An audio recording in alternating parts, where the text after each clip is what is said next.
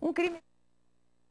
Moradores de rua surpreendeu a polícia de Vespasiano, na Grande BH, nessa madrugada. Um homem espancou a mulher até a morte na varanda de uma delegacia onde eles passavam a noite.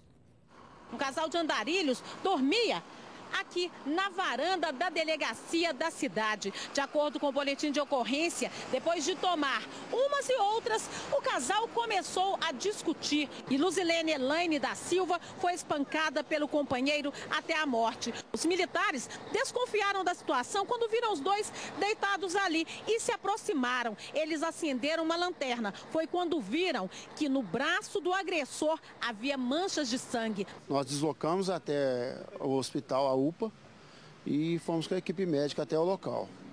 Lá foi constatado o óbito dela. Daniel Leandro de Almeida, de 34 anos, foi preso em flagrante. A justificativa não é trazer a mulher que eu amo de volta.